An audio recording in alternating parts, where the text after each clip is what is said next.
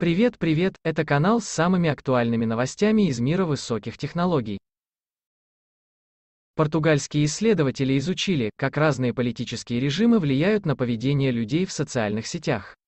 Они ассимилировали данные 6750 сообщений с 225 различных страниц брендов Facebook в 15 странах.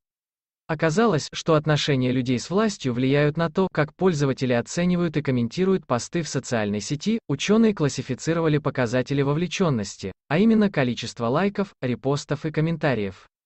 Также они изучили, как люди используют различные эмодзи, любовь, вау и смешно для оценки поста.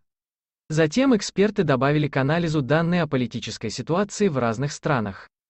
В результате ученые обнаружили несколько интересных корреляций. Например, в странах с низким уровнем индивидуализма и тех, где власть дистанцировалась от людей, пользователи делятся сообщениями чаще, чем комментируют их. Иными словами, чем авторитетнее правление в стране, тем больше люди просто делятся постами, не комментируя их.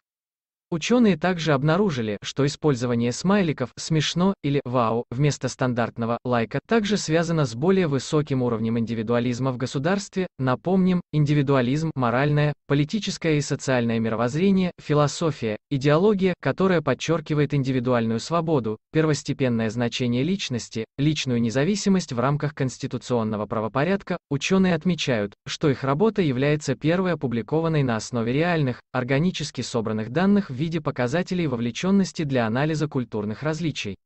Они намерены продолжать исследования. Читать далее посмотрите, как первый частный экипаж возвращается из космоса на Землю астроном-любитель снял на видео, как на Юпитер упало неизвестное телоразвитие и достигло критической точки. Ученые просят взять технологии под контроль. Если видео было вам интересным, пожалуйста поставьте лайк и подпишитесь на наш канал.